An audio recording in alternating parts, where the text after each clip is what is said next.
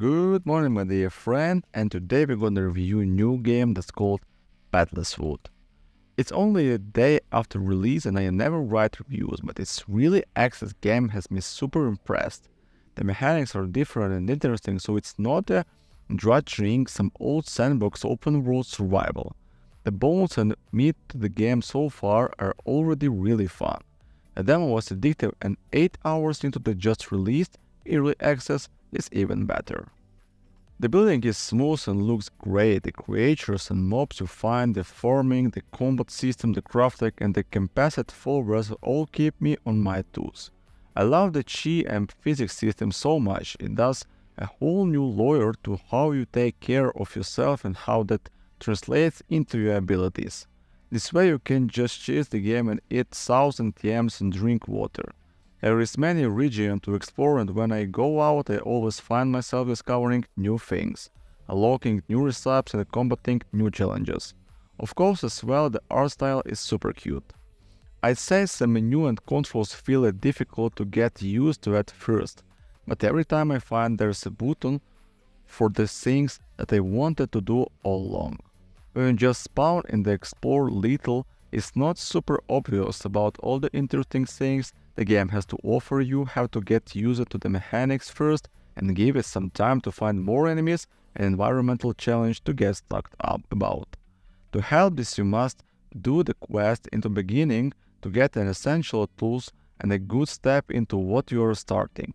You can customize your own character so if you are into that, that is disappointing. I believe this because they have slots in the game for a variety of future playable character and those characters will have skins as well. From what I've seen on the roadmap, the future updates will be big game development and I'm stoked.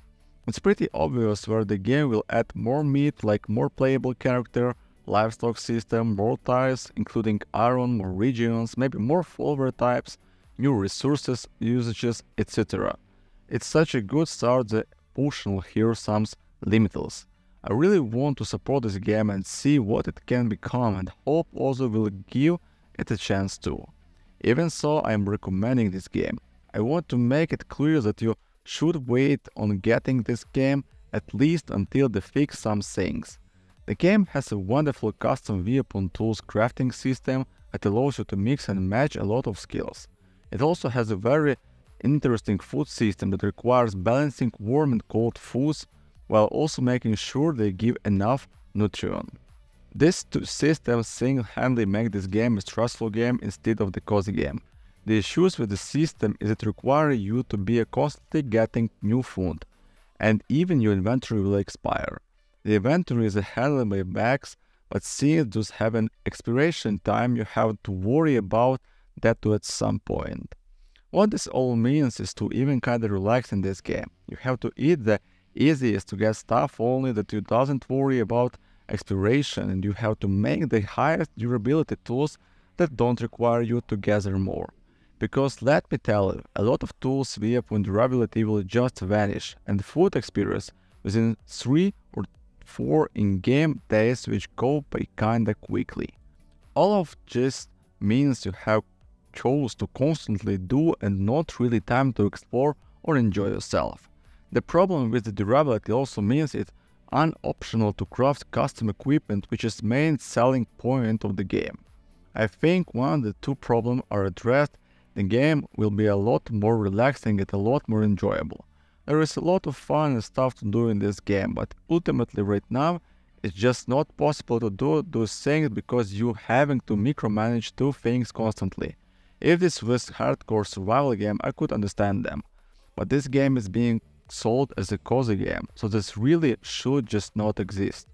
While there are many games similar to Pathless Wood, Valheim, Celeste Blazers, and perhaps Stardew Valley, comes to mind this game does things a little differently, and I think is often success in doing some of those things better. For example, if feature most of the quality of life features that are often and after slowed is similar games features that I've never seen in a unmodded sandbox game. For instance, when looking at the resource, players can press Q to auto-switch to an appropriate tools provided tools is somewhere in the hotbar. there is one with several small but significant QL improvement over similar game. It means many players complain about a clunky UI. I think these complaints are likely to be very valid to a certain types of players, so I don't wish to dismiss the concern. But I think the UI is quite brilliant. Also, there are a lot of different case tones and game combination to use. Thank you for watching guys and see you later. Goodbye.